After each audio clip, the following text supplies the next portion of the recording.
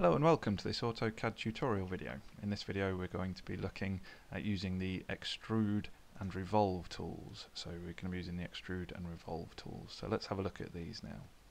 So we're getting quite familiar with this view of uh, our drawing plane here. We've got our x and y axes and the z axis pointing straight up at the moment. Uh, the good news is that a lot of the skills that we've seen on the 2D CAD uh, videos will now start to come in extremely useful. So the first thing we're going to do is, is get this into a view that we're comfortable with, that we've, we're used to drawing on. So if we select custom view over here and then select top, uh, we've now got a uh, view of the XY plane that we're quite comfortable working on, that we've been working on quite a lot. Now I'm going to draw two rectangles here. Let's put my ortho snap on. So just draw two rectangles. Now you'll notice with this rectangle I am using the line tool and then if I come over here and use the polyline tool and create another rectangle, the sizes of these don't really matter very much. Uh, so let's just create uh, two rectangles, one made with a line and then this one made with a polyline. Now to get back to our uh, view that we we started to get used to, uh, we click southeast isometric up here and then we've got our two rectangles and now we're in a, a more isometric view. So if we now select the extrude tool uh, and select objects to extrude, uh, if we select these objects here and try to extrude these, can you see what we've got there now is, is sort of like a hollow box. And it's not even really a very accurate representation of a box because what we're extruding here are lines and that means that these lines technically don't have any real thickness. So that means that this is not a very good way of extruding a solid object. So we can uh, put that there and we've we've extruded uh, kind of planes really. However over here this was created with a polyline. If we extrude here now and select the polyline when we uh, select this so again hit enter at this point you can see there that we're creating a solid object like.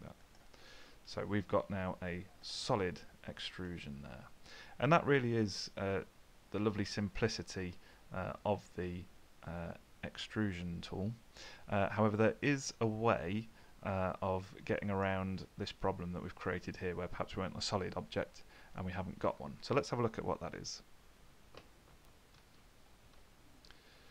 So let's get rid of these objects here because they're not much good to us. So they're gone now.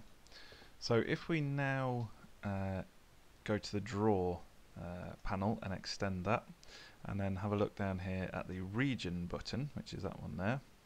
So if we select that one uh, and then it asks us to select the objects that you want. So these objects will bound the region that we're interested in. So we've selected all four of those lines, hit enter, and as you can see there we've created this grayed out face now. So if we now want to extrude that, we simply go to this, and there we go, we've got a solid extrusion now. So that's the difference between creating objects that you want to extrude with a line or a polyline and if you do find that you've done it with a polyline for some reason uh, it can always be changed into a region at a later date. So that is what we mean by uh, the extrusion tool. So as you can see here we've got fairly uh, straightforward uh, objects, straightforwardly shaped objects here.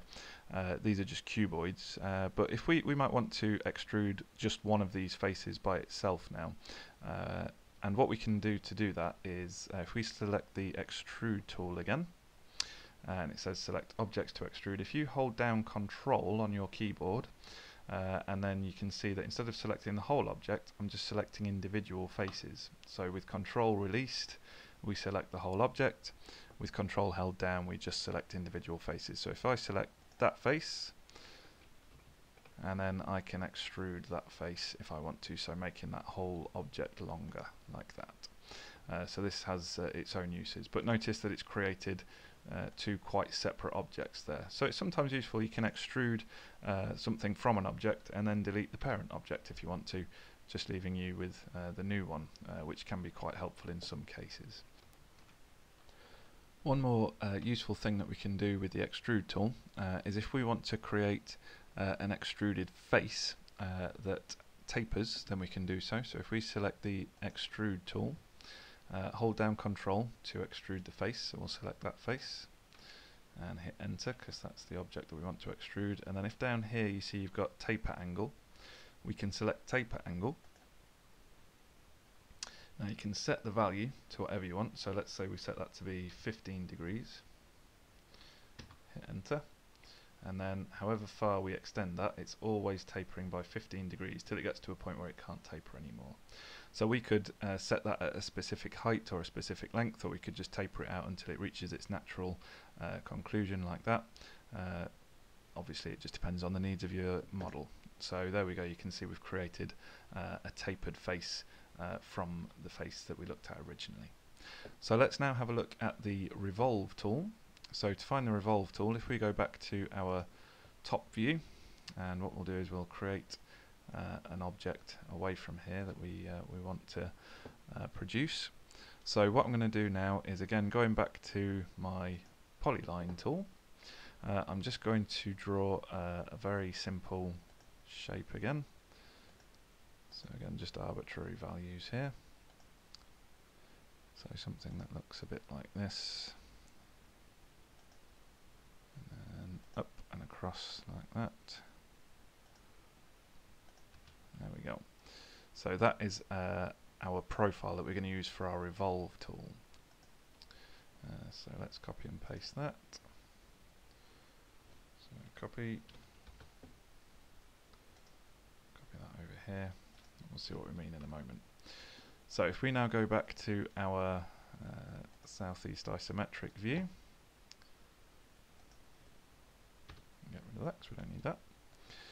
So if we want to now revolve this, what we can do is uh, if we select our revolve tool, revolve and select that object as the one we want to revolve. Now it's saying uh, where do you want your axis start point to be. So obviously we can create this revolving around any axis that we want. But if we create it around this axis, so select the two points, you can see there that what we've done is we've created now uh, this option where we can uh, extrude in a circular fashion uh, from where we were. Now if we want that to go all the way around we'll simply hit enter because this is already set to 360 degrees but you might want to set it to 270 uh, create a couple of Pac-Men there uh, joined by a bar or we could just create the full 360 value. So if I hit enter we've got the full 360 revolution. So it looks sort of like a very crude pair of wheels on an axle there. But coming back to uh, this second drawing that we produced, uh, if I want to just create, uh, set off from here, uh, another line, so let's go back to our top view and have a look at this. If I create a line that is just offset from here some distance, again obviously you can be very accurate with this using your 2D CAD skills that you've developed.